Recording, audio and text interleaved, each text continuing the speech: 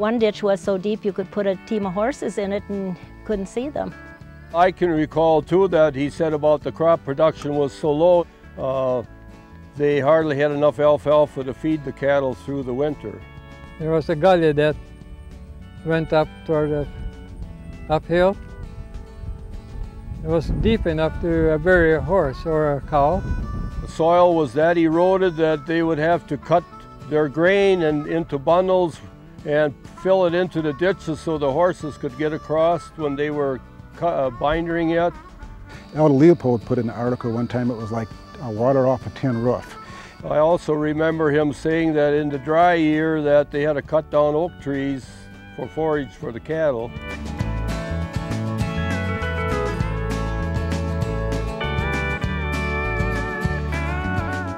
This was the stark face of much of western Wisconsin in the late 1920s. After seven decades of hard farming, the land and water suffered. Dust swept across the Great Plains, and topsoil washed into gullies. In the Coon Creek watershed, the cropland erosion was extremely severe. The woods were overgrazed, tremendous amount of gullies in the woods, in the crop fields, tremendous amount of sheet erosion to the point that farmers couldn't even harvest their crops off their fields. Productivity was dropping down to almost nothing. And the floodplain areas down in the valleys were filling up with silt. Everything was pretty much unraveled.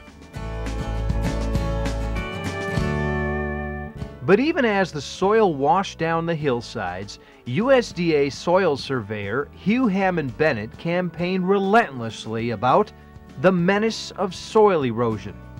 Eventually, Bennett's pleas were heard.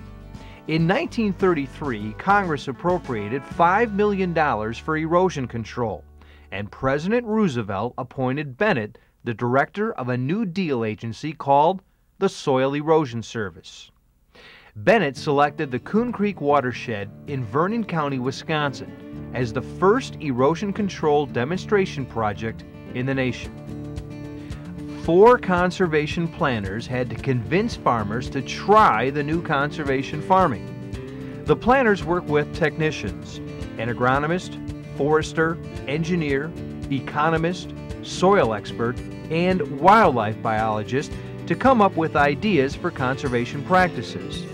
Some worked and some didn't, but many are still in use. Thousands of young men across the nation were laboring on public works projects such as the Coon Valley Watershed. Known as the Civilian Conservation Corps, or CCC, these young men provided the heavy labor. Most of the conservation practices and systems that were developed work with individual landowners were actually developed one-on-one -on -one by the individual conservationists, uh, getting together at night, sitting down and saying, hey, what worked and what didn't work. And surprisingly, a lot of the conservation practices and systems are the same conservation practices that we use today over 60 years. Contour strips, diversions, terraces, grade control structures. Interestingly, and I've heard this story many times, a lot of farmers got in because it was such tough times, like 20 to 25% of the farmers were behind in their property taxes at the time, they're tax delinquent. Many of the farmers got into the program because they just wanted to get the five years worth of benefits and then get out. After the five years, the farmers wouldn't get out. They wouldn't think of getting out. My grandma had the mortgage on the farm, and uh, when my dad told her what they were going to do, she said, You're not going to be able to keep your farm. The government's going to take it away. But he didn't listen to her, thank goodness. More than half a million tree seedlings were planted, and cattle were fenced off steep hillsides to reduce erosion.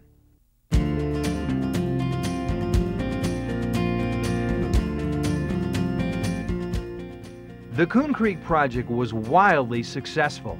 In the first year, over half the 800 farmers signed up, bringing 40,000 acres into the program.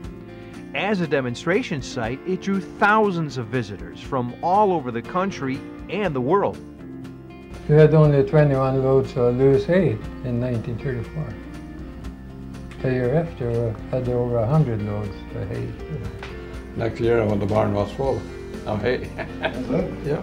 Within two or three years after the erosion control demonstration project started, a lot of farmers, and I've heard this story over and over, had to add on to their barns because they had so much extra corn, so much extra hay. In the very short time it was open, from late 1933 through 1935, a conservation ethic in science was born. The conservation practices slowed the soil erosion, improved fertility, and agriculture in the Coon Creek area was revitalized. The Coon Creek watershed is one of the most studied watersheds in the country. The improving water quality and quantity due to upland conservation practices has been documented since 1933. The Department of Natural Resources came out and said, forget about trout fishing in creeks like this. This is Timber Coulee. Forget about trout fishing here because the water quality is never going to be good enough in order to support trout. Now, years after that, 45 years after that, this is one of the best trout fishing streams in the state of Wisconsin. Time has changed many things. Hugh Hammond Bennett's Soil Erosion Service became the Soil Conservation Service in 1935. 60 years later, it became known as the Natural Resources Conservation Service, NRCS. The number of dairy farms has declined in Wisconsin, and the Coon Valley watershed area is no exception. The loss of dairy has had a trickle down effect on the conservation practices implemented more than 70 years ago, specifically the use of contour strips that are the signature of the Coon Valley area. Things are changing in this area. We're losing our dairy farms. We've gone from 1,200 to 700 dairy farms. With dairy farms, you need hay. When you don't have dairy farms, you don't need as many um, acres of, of hay. And so you don't need contour strips with hay. And so what's happening is we're losing a lot of our contour strips. Removing the strips and going to all cash crops, to me, uh, like I said, I think it, it's going the wrong way. It's going to the way it was before the, before the watershed project. Fortunately, we do have a substitute practice available to us now today that we didn't have in the 1930s. In the 1930s, all the farms were moldboard plowed. By the 1970s around here, most of the farms started to use conservation tillage. Now today, most of the farms that have had the contour strips removed are growing corn and soybeans, but almost all that corn and soybeans is grown through a system of no-till plantings, which is comparable in soil loss to the old-time contour strips.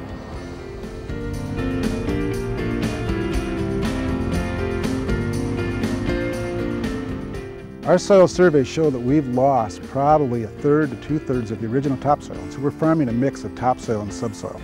If we hadn't got involved with a project like this, and we hadn't started establishing the conservation practices, the diversions, the waterways, the terraces, uh, I don't think there'd be any topsoil that we'd be farming. So if it wasn't for this project in the Coon Creek watershed, I think it's pretty safe to say that we probably wouldn't have agricultural production like we know it today.